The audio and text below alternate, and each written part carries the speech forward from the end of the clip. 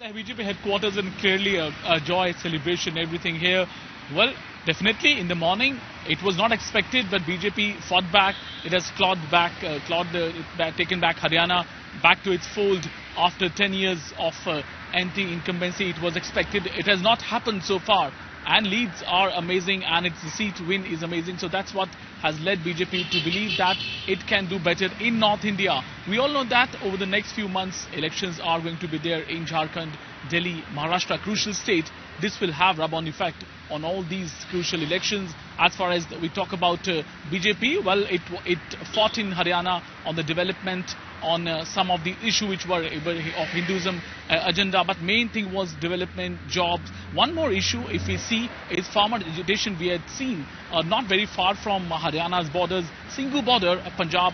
Uh, farmers were there. It doesn't look like any impact of that has been there on BJP's prospects in Haryana. So clearly a very big, a good performance of BJP in Haryana and unexpected, I would say. Uh, exit polls clearly were predicting something else and something else had happened. In Haryana, there are many urban towns like Gurgaon, Faridabad uh, and Palwal and others but rural areas also. So BJP has made inroads in both urban and rural areas in Haryana.